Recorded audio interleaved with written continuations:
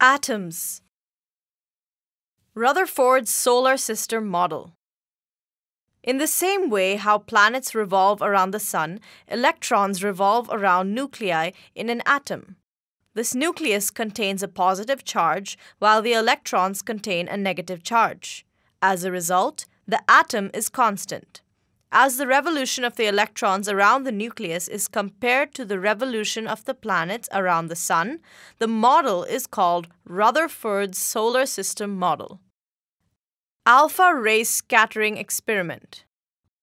In this, alpha rays emanating from a radioactive material were concentrated onto a thin foil. Few of them passed straight through the foil.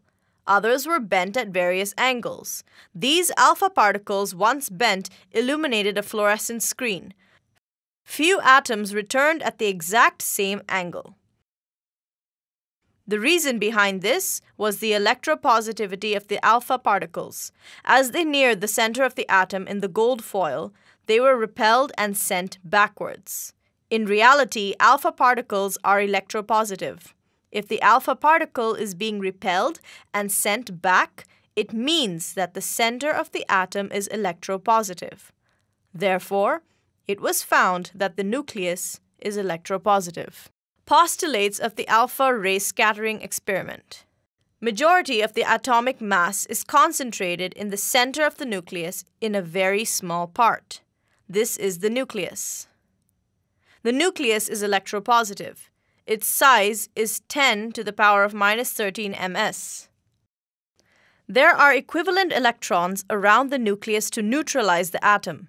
They don't fall into the nucleus as a result of the forces of attraction due to the fact that they revolve around the atom similar to the solar system. Size of the nucleus.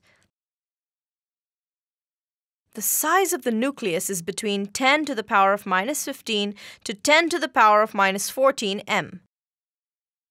The atomic radius is 10 to the power of minus 10 m.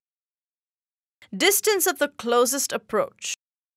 In the Rutherford gold foil experiment, alpha particles emanating from a radioactive source are dispersed in all angles by the gold foil. The particles hitting the nucleus are sent back based on the principle of like forces repel each other.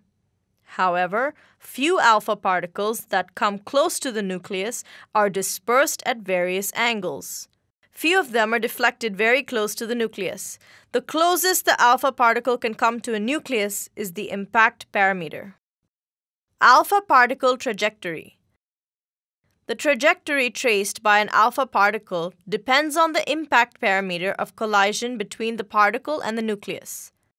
The impact parameter is the perpendicular distance of the initial velocity vector of the alpha particle from the center of the nucleus.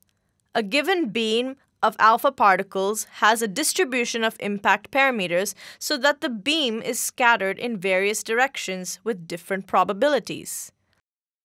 The alpha particle closest to the nucleus suffers the largest scattering.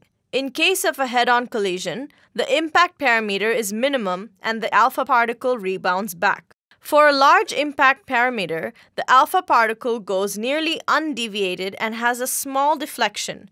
The fact that only a small fraction of the number of incident particles rebound back indicates that the number of alpha particles undergoing head-on collision is small.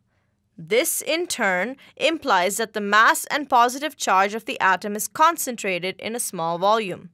Rutherford scattering therefore determines an upper limit to the size of the nucleus. Drawbacks of Rutherford's model.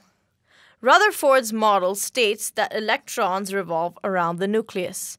However, based on the dielectric principle, revolving electrons must emit large amounts of energy.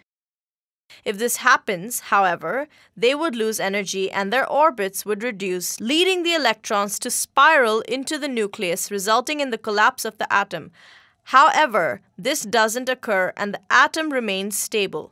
Therefore, Rutherford's model doesn't explain the stability of the atom. It doesn't explain how the revolving electrons stay in orbit. It doesn't explain the distribution of electrons in the atom.